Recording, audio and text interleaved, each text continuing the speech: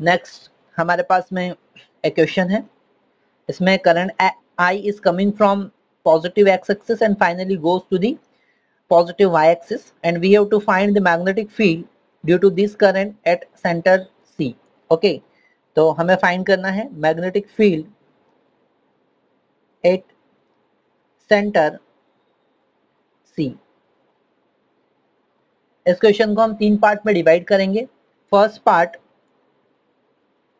part first current which is on x axis part second part number 2 for magnetic field for quarter circle and part 3 magnetic field due to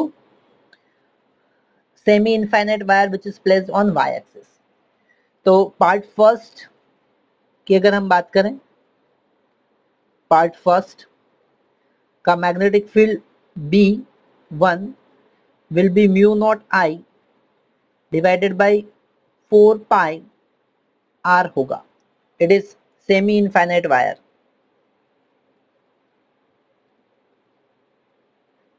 semi infinite wire के कारण magnetic field तो first part का magnetic field और magnetic field की direction अगर हम current की direction में थम को रखें तो मैग्नेटिक फ़ील्ड इनवर्ड होगा।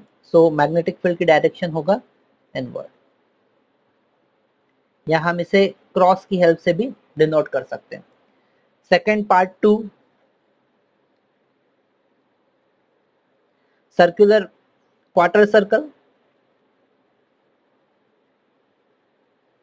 और क्वार्टर सर्कल के कारण मैग्नेटिक फ़ील्ड सेकेंड पार्ट के कारण मैग्नेटिक फ़ील्ड होगा। Mu naught I divided by eight R okay third part की हम बात करें तो again it is semi infinite wire semi infinite wire so the magnetic field due to part 3 is equal to mu naught i divided by 4 pi r. यहाँ पर तीनों part का magnetic field inward है. सेकंड पार्ट का magnetic field भी inward होगा. Third part का magnetic field भी इनवर्ड होगा. अगर हम according to Fleming thumb right hand thumb rule के अकॉर्डिंग मैग्नेटिक फ़ील्ड की डायरेक्शन देखें तो तीनों का मैग्नेटिक फ़ील्ड इन्वर्ट होगा। तो net magnetic field B at point C is equal to B one plus B two plus B three so net magnetic field is equal to mu naught I divided by four pi R plus mu naught I divided by eight R plus mu naught I divided by 4 pi r.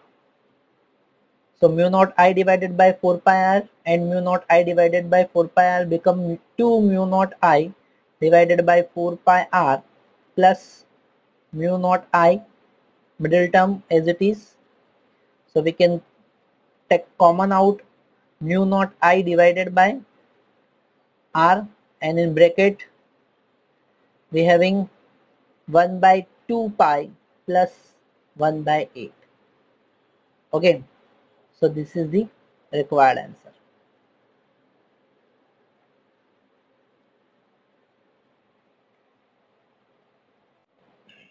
So next question is a current I is uh, flow as shown in figure and we have to find the magnetic field at point O.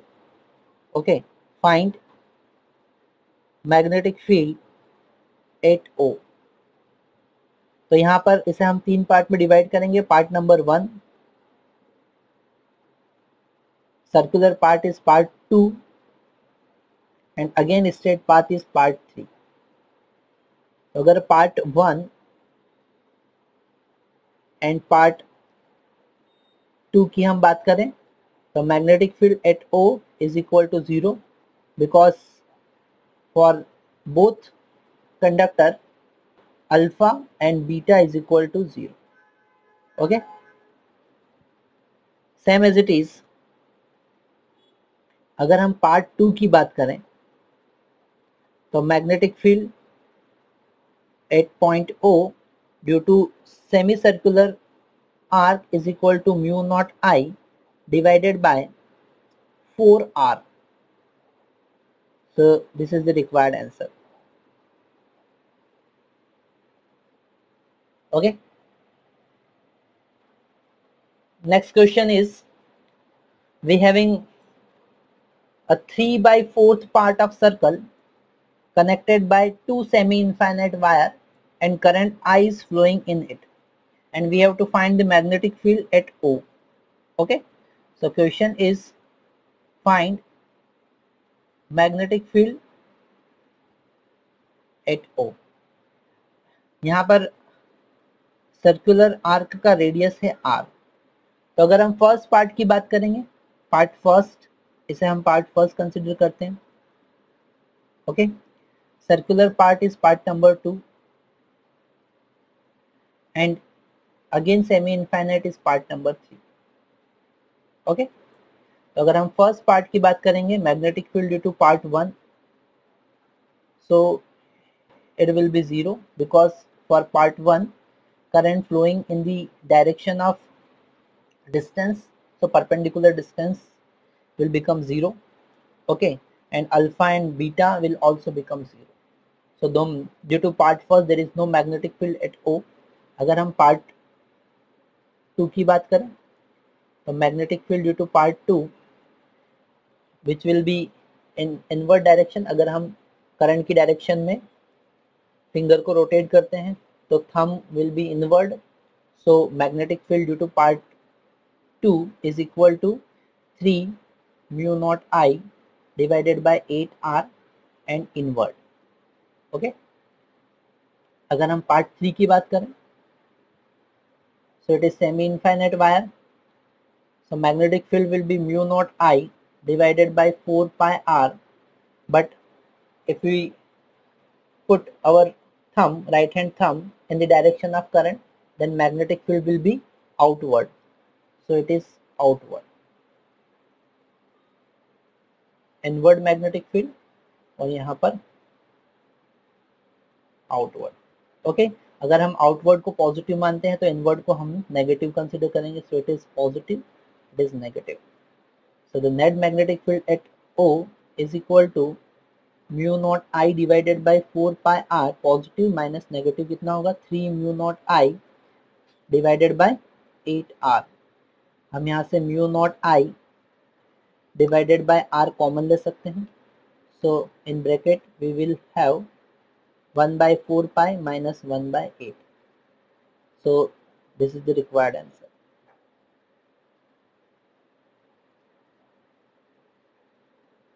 okay? So next question is question number four is a current I is enter in a circular loop divided into two part I1 and I2 and coming out from terminal B. This is terminal A and terminal. We have to find magnetic field at center O. Okay. Find magnetic field at center O यहाँ current दो equal part में divide हो रहा है। So I one equal to I two equal to I by two अच्छा first part का magnetic field will be mu naught I by two divided by four R due to semi circular arc and direction will be inward, so direction will be cross So magnetic field due to second is equal to mu naught I divided by I by 2 divided by 4R and direction of magnetic field will, will be outward. If we rotate our finger in the direction of current then direction of thumb shows in shows the direction of magnetic field which, which will be outward. Okay, direction bahar ki taraf hogi. So it is dot. So the net magnetic field will be 0 okay? Because outward magnetic field will be cancelled out due to inward magnetic field. Next question. यहाँ current I A से enter हो रहा है और B से exit कर रहा है। तो करंट दो पार्ट में डिवाइड हो रहा है। एक आई वन और एक I two okay so we have to find the magnetic field at center O question is same find magnetic field at center O. So the magnetic field due to entering current and exit current will be zero on center. So only due to magnetic field, only due to current I1 and I2 we have to find the magnetic field at O. Okay. सबसे पहले हम I1 calculate कर लेते हैं यहाँ पर अगर wire uniform thickness का है ओके और यहाँ तो अगर हम I1 के लिए जो रेजिस्टेंस है R1 उसका वैल्यू कैलकुलेट करें और R2 के लिए जो रेजिस्टेंस है आई आर टू उसका वैल्यू कैलकुलेट करें। तो यहाँ पर ये थ्री बाई फोर्थ पार्ट है और ये वन बाई फोर्थ पार्ट है। ओके तो यहाँ का resistance R one will be total resistance by four होगा और R two will be three by four times of total resistance होगा R naught is the resistance of wire okay? Resistance of complete wire.